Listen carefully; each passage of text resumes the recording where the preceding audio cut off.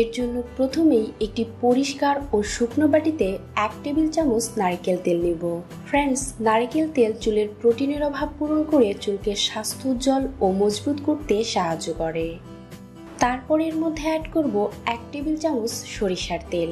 সরিষার তেলে vitamin A এবং অ্যান্টিব্যাকটেরিয়াল উপাদান রয়েছে, যা অকালে চুল পেকে যাওয়া প্রতিরোধ করে, আর এতে থাকা ব্যাটা ক্যারোটিন চুলের বৃদ্ধিতেও সাহায্য করে। এবার আমি এতে অ্যাড করব খুবই গুরুত্বপূর্ণ একটি তেল, আর তা হচ্ছে কালো জিরা তেল।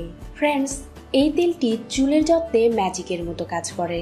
এর মধ্যে থাকা প্রোটিন, জিঙ্ক, চুল পড়াকে একদম কমিয়ে দেয় এবং মাথার ত্বকে নতুন চুল গজায়। এখানে আমি এক টেবিল চামচ কালো জিরা তেল অ্যাড করছি।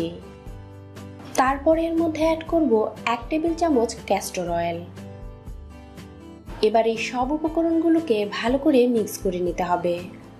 ফ্রেন্ডস ক্যাস্টর অয়েলে ভিটামিন ই মিনারেল এবং প্রোটিন রয়েছে, যা চুল পড়াকে প্রতিরোধ করে এবং মাথার ত্বকে দ্রুত নতুন চুল গজায়। এর মধ্যে থাকা অ্যান্টিঅক্সিডেন্ট চুলের বৃদ্ধিতে সহায়তা করে এবং চুলকে করে মজবুত, উজ্জ্বল ও ঝরঝরে।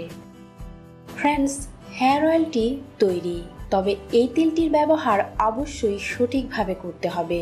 রাতে ঘুমোতে যাওয়ার আগে এই তেলটির সাহায্যে আপনার চুলের গোড়ায় ধীরে ধীরে দশ মিনিট মাসাজ করুন।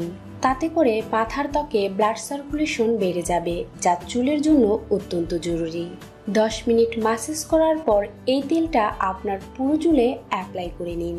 তারপর আমার দরকার পড়বে একটি তোয়ালে। তারপর এই তোয়ালেটিকে কুসুম গরম পানিতে ভিজিয়ে সমস্ত পানি চিপে ফেলে দিন।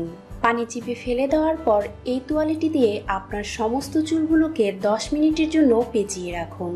দশ মিনিট পর তোয়ালেটি আপনার চুল থেকে সরিয়ে এইভাবেই ঘুমিয়ে পড়ুন এবং পরদিন সকালে চুলকে শ্যাম্পু করে নিন। ফ্রেন্ডস এই পদ্ধতিটি যদি আপনি সপ্তাহে দুই দিন ব্যবহার করেন, তাহলে আপনার চুলের বৃদ্ধি দ্বিগুণ বেড়ে যাবে। পাশাপাশি চুল পড়া পুরোপুরি বন্ধ হয়ে চুল হয়ে উঠবে মজবুত, ঝলমলে এবং ঘন। আর এই অয়েলটাকে আপনি ঘরের স্বাভাবিক তাপমাত্রায় দুই থেকে তিন মাস পর্যন্ত সংরক্ষণ করতে পারবেন। তো ফ্রেন্ডস আপনি যদি আপনার চুলের বৃদ্ধিকে দ্বিগুণ বাড়াতে চান, তাহলে এই রেমেডিটাকে ট্রাই করে দেখবেন।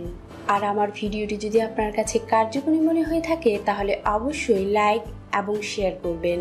এর পাশাপাশি আমার চ্যানেলটিকে সাবস্ক্রাইব করতে ভুলবেন না।